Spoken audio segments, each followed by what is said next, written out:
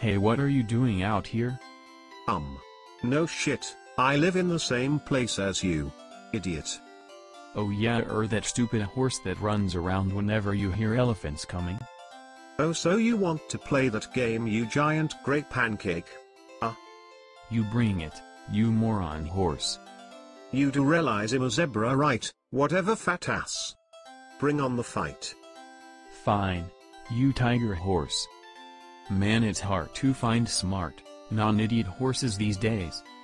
Oh whatever you overcooked potato, I'm out.